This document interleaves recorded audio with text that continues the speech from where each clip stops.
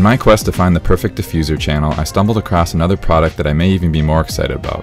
Enter the Muzata Edge-Lit Frosted Acrylic Aluminum Panels. In this brief video, I'll unbox, set up, and show you a few more pictures and videos at the end. So each box comes with two panels that are each 4 feet in length. I'll slide the acrylic out of the profile so we can get a closer look at the design.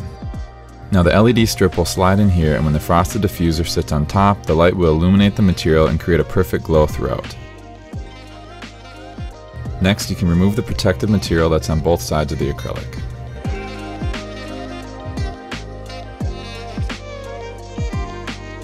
For the LED strips, I'm going to be using some BTF Lighting WS2812B pixels that have 100 LEDs per meter. These lights work perfect and they're the ones I recommend using for this product. And to get the full smooth neon look, it is recommended to use something that has at least 90 LEDs per meter, which is why I'm using these instead of my usual ones that only have 60. Now since the panels are longer than the 1 meter length that the LED strips come in, I'm going to solder some together so everything matches. Now I like using my own 18 gauge silicone wires, so I'm going to be cutting off the first and last LED to get rid of the ones that they come with.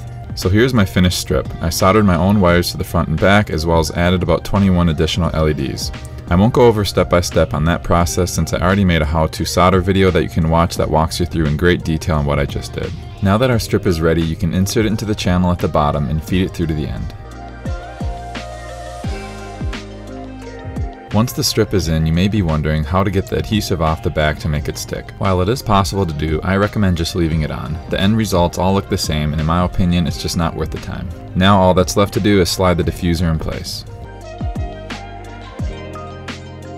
One thing I do want to mention is if you end up installing these somewhere that's going to typically be below eye level, make sure you flip the panels around from what you're seeing here so that the LEDs are on top shining down. And if you put them somewhere that will typically be above your eye level, have the LEDs at the bottom shining up like they're positioned now. As far as controlling the lights and getting everything hooked up, I'll be using WLED installed on an ESP32 board. I'll leave links in the description to a couple videos I previously made going over step by step how I get everything set up and connected in case you want to do it the same way. Now as you can see here, I did end up putting together a few more of these in the exact same way to have a little more fun when testing them out.